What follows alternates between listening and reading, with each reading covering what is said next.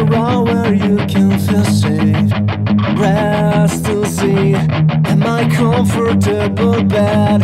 On an upper where you can talk your fears as a placid lake. I'll be your shoulder until my body caresses away.